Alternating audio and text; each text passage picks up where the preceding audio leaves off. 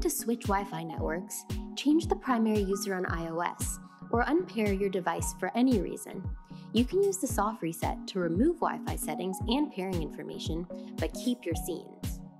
If you're experiencing technical issues that the soft reset doesn't solve, you can use the hard reset to do a full factory reset, deleting Wi Fi settings, pairing information, and custom scenes.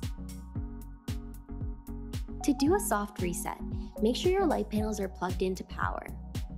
Press and hold both buttons for 10 seconds until the LED on the controller begins to flash. Release the buttons and the light will remain on and steady. You can then delete the device from the app and pair it again. To do a hard reset, unplug the controller from the wall.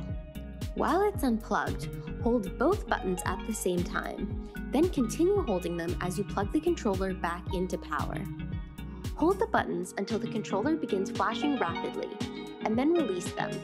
Once the light is on and steady, the reset is done and it's ready to be paired again.